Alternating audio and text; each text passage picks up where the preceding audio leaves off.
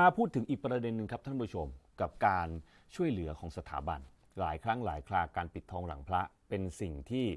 พระองค์ท่านทรงดำเนินมาตลอดเวลาโดยเฉพาะอย่างยิ่งพระบาทสมเด็จพระเจ้าอยู่หัวรัชกาลที่ 10ค่ะหลายครั้งหลายคราที่เกิดวิกฤตการณ์ของประเทศชาติ แต่หลายคนยังไม่ทราบนะครับว่าพระองค์ท่านทรงพระราชทานสิ่งใดมาช่วยเหลือกันบ้างนะครับ ซึ่งคราวนี้เองครับ พระบาทสมเด็จพระเจ้าอยู่หัวรัชกาลที่ 10 ที่พระองค์ทรงบำเพ็ญพระราชกรกิจ นับน้อยใหญ่ นานับประการ เพื่อประสบนิกรชาวไทยจะมีอะไรบ้าง เดี๋ยวผมจะเล่าให้ฟังครับ พระบาทสมเด็จพระเจ้าอยู่หัวรัชกาลที่ 10 นะครับ ทรงบำเพ็ญพระราชกรณียกิจน้อยใหญ่ นานาประการ เพื่อให้ราษฎรทุกหมู่เหล่าได้รับความช่วยเหลือให้มีคุณภาพชีวิตที่ดีขึ้น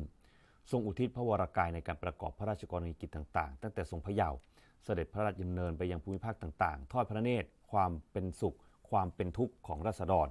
หาแนวทางการช่วยเหลือราษฎรในถิ่นทุรกันดารพระองค์ทรงเป็นพระมหากษัตริย์ที่เปี่ยมด้วยพระอัจฉริยภาพหลากหลายด้าน ทั้งการศึกษา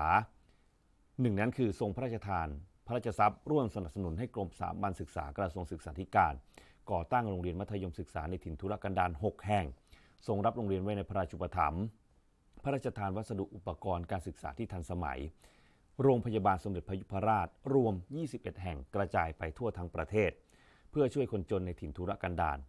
ทรงประกอบพิธีเปิดโรงพยาบาลทุกแห่ง และทรงเยี่ยมโรงพยาบาลอย่างสม่ำเสมอ พระราชทาน พระราชทรัพย์ สนับสนุนให้มีอุปกรณ์ทางการแพทย์ ให้มีความทันสมัย ด้านสังคมสงเคราะห์ ทรงห่วงใยการพัฒนาคุณภาพชีวิตของพี่น้องประชาชน โดยเฉพาะเยาวชนที่ด้อยโอกาส ในด้านการต่างประเทศครับ ทรงเสด็จพระราชดำเนินไปทรงเยือนมิตรประเทศทั่วทุกทวีป มุ่งเจริญสัมพันธไมตรี และยังทรง สนพระราชฤทัยในการทอดพระเนตรการศึกษากิจการต่าง นำมาใช้ในการประโยชน์ในประเทศไทย แม้กระทั่งด้านการเกษตรครับ ค่ะ ทางด้านเกษตรกรรมค่ะ เสด็จพระราชดำเนินไปทรงทำปุ๋ยหมักจากผักตบชวา และวัชพืชอื่น ๆ เป็นปฐมฤกษ์เพื่อพระราชทานแก่เกษตรกร ทางด้านศาสนาค่ะ ทรงปฏิบัติพระราชกรณียกิจทางศาสนาเป็นประจำสม่ำเสมอ รวมถึงการเสด็จพระราชดำเนินไปในการพระราชทานถ้วยรางวัล การทดสอบการอัญเชิญพระมหาคัมภีร์อันกุรอานระดับประเทศ ด้านการกีฬา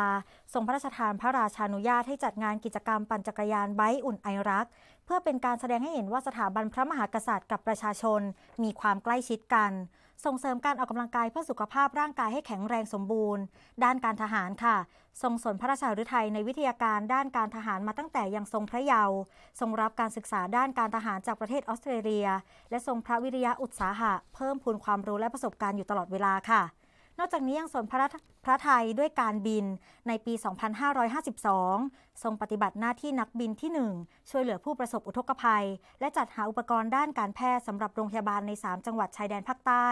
นับเป็นอีกห่วงเวลาสำคัญที่ประสบนิกรชาวไทยทุกหมู่เหล่า จะได้ร่วมกันทำความดี เพื่อสำนึกในพระมหากรุณาธิคุณ พระมหากรุณาธิคุณของพระองค์ แสดงออกถึงความจงรักภักดีต่อในหลวงรัชกาลที่ 10 เนื่องในโอกาสวันคล้ายวันพระราชสมภพ 28 กรกฎาคม 2566 ค่ะ